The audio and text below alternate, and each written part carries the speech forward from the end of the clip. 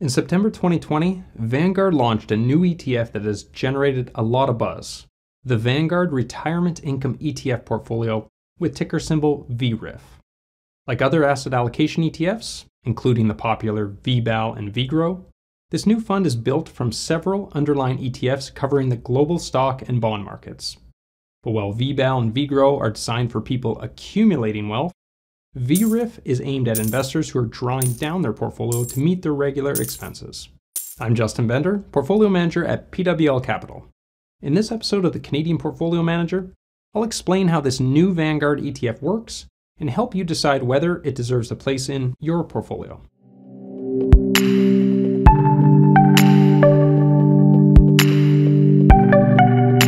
The most important feature of VRIF is its consistent monthly payout which has a target of 4% annually. Here's how it works VRIF launched with a unit price of $25, so that 4% yield works out to a tidy $1 annually. Since the payouts are monthly, that $1 gets divided by 12, which is a not so tidy $0.083333 per unit each month. So if you buy 12,000 units worth about $300,000 at the current price, you can expect a monthly distribution of $1,000. VRIF's distribution will be adjusted every year to make sure it hits that 4% target. The original amount was based on a unit price of $25, but future payouts will be tweaked according to the fund's price at the end of each calendar year. For example, if the fund's unit price has declined to $24.50 at the end of 2020, the 4% distribution will be recalculated at 0.98, and the 12 monthly distributions for 2021 will be $0.0817 per unit. If the unit prices climb to $25.50, then the annual 4% yield works out to $1.02, or $0.085 a month. Because VRIF's unit holders will be looking for consistent cash flow, Vanguard will cap these annual changes at 5% in either direction. So if you're receiving $1,000 a month in income today, you can be confident that next year your monthly distribution will be between $950 and $1,050. So is VRIF a game changer for index investors in retirement? Well, the ETF has some novel features, but it's not a fundamentally new idea. VRIF is just the latest example of a monthly income fund, which has been a staple in the mutual fund industry for a generation. These are balance funds containing a mix of stocks and bonds that pay a consistent cash distribution each month.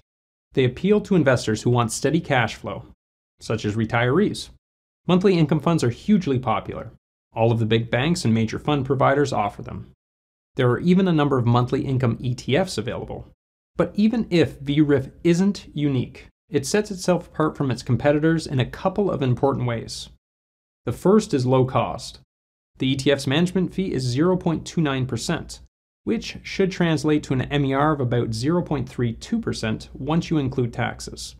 It's not unusual for bank sponsored monthly income mutual funds to come in around 1.5%. Even monthly income ETFs can have fees two to three times higher than VRIFs.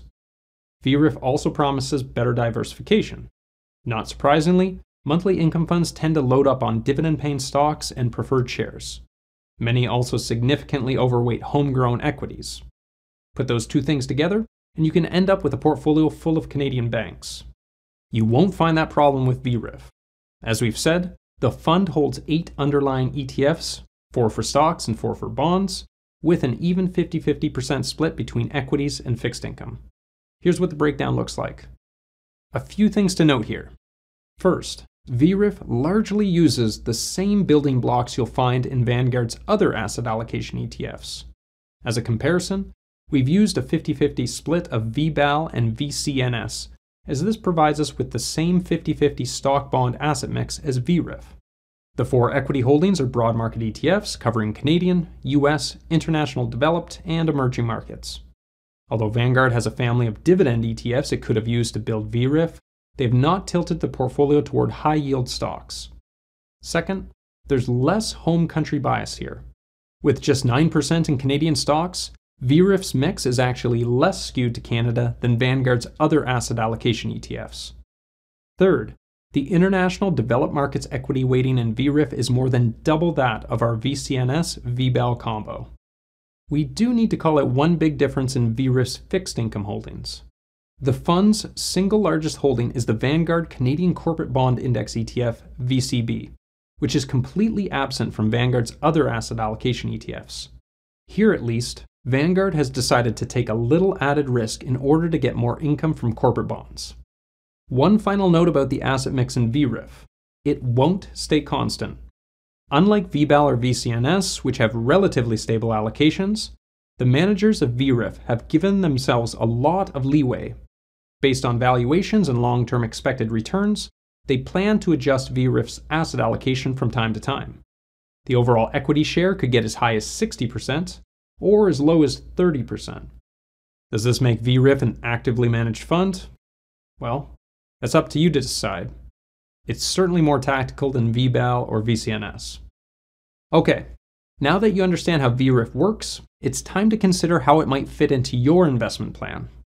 With retirement income right in its name, it's natural to consider using Vanguard's new ETF in a RIF account. RIFs, of course, require you to make regular withdrawals, and many retirees receive these monthly. Since investors tend to dislike selling holdings to free up cash for those regular withdrawals, VRIF's monthly distribution schedule might be just the ticket. But if you already have a RIF, you've probably spotted the wrinkle. VRIF's annual distribution is fixed at 4%, and unless you're 65 or younger, the minimum withdrawal rate from a RIF is higher than that.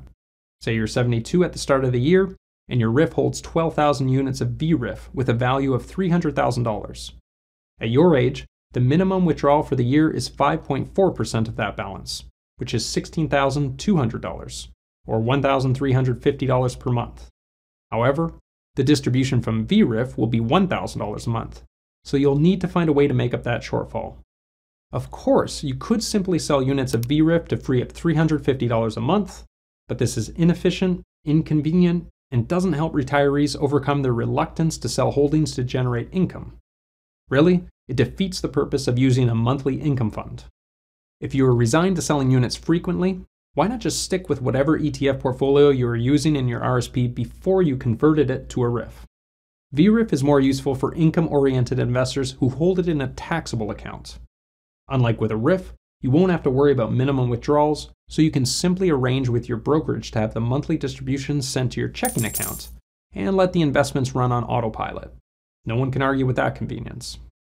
Now, let's consider some situations where monthly income ETFs are really inappropriate. First off, VRIF is absolutely not a substitute for high interest savings accounts, GICs, or even bonds. VRIF's 4% distribution is not the same as a 4% return. Like any portfolio of stocks and bonds, this ETF can easily lose money over short periods, so it's not the place to stash your emergency savings or the down payment on your home purchase.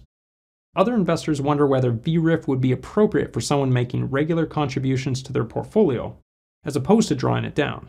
Since these folks don't need monthly cash flow, they suggest setting up a drip and reinvesting all of the distributions. We would argue that such a strategy makes little sense. Since there are already excellent one ticket balanced ETFs available for accumulators, it's hard to understand why anyone would use a monthly income fund for this purpose. A significant amount of VRIF's distributions will come from capital gains, which means the fund manager will regularly sell securities to harvest these gains. This isn't a sensible strategy for investors who are planning to reinvest the proceeds. Think of it like this. If you held VBAL or VGRO instead, would you periodically sell shares to realize gains and then immediately repurchase them? Of course not. But that's effectively what you'd be doing if you used VRIF with a dividend reinvestment plan. So if you're in the accumulation phase of your investing life, stick to traditional ETFs. There's no benefit to using a fund that generates regular cash flow if you're just going to reinvest the payouts. But if you rely on regular withdrawals from your portfolio to fund your spending, then VRIF, with its thoughtful design, low cost, and broad diversification, can be a simple, sustainable solution. Thanks for watching. I'm Justin Bender of PWL Capital, and this is the Canadian Portfolio Manager YouTube channel. If you enjoyed this video, don't forget to click subscribe. And if you want to learn more about VRIF, head over to the Canadian Couch Potato blog where my colleague Dan Bortolotti has written a four part series that takes an even more in depth look at this ETF.